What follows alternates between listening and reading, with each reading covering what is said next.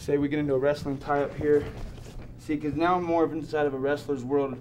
The other one was more of a defensive tactic, and this one's like, say, finish guillotine here. Okay, I usually do it with the inside tie up, and I tie up on the head.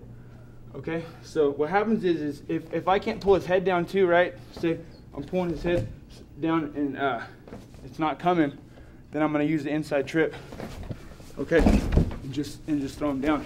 But now so let's say he doesn't want to bring me that back leg when I pull him. So say you keep a base, he doesn't bring me that back leg, then I just pull his head down and push the choke. Okay, but let's say he wants to keep his head up. So now he brings me his back leg, see? And then now,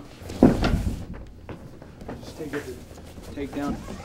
So there's two moves like from stand up, you know, I like to use a lot. One's from the tie up.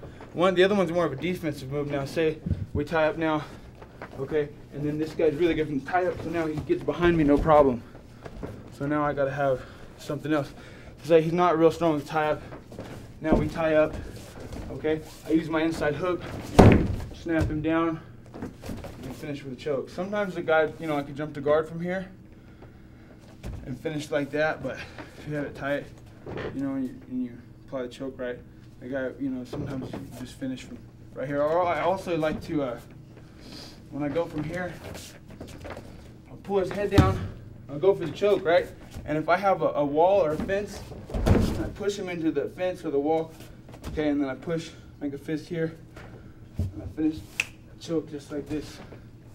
Okay, it gives me a lot of leverage, so I'm just gonna force this up against the rope or the fence, or if you're in a bar or some, you know, there's a wall, self-defense. A lot of times, you know, they'll use that to try and, you know, throw, and you don't want to get thrown into a wall or underneath a, a table or, you know, around chairs and stuff. So when you apply the, yeah, okay, so we're gonna start from a tie up though. So he'll you'll tie up with me, tie up on my head or something, and I want, I want the inside tie. Some people call this the undersea or underhook, or that's, uh, um, I just call it an inside tie up or underhook. Okay, and then I tie up on his head too, and uh, so from right here, um, I'm able to pull his head down because this this leg's back. So, let's say he wants to keep his head up, and then yeah, so you'll put that foot forward, or I'll still be able to pull this leg toward me. Okay, but if I can't, you know, if I if if I can't pull this leg towards me, then I'm gonna be able to pull your head down.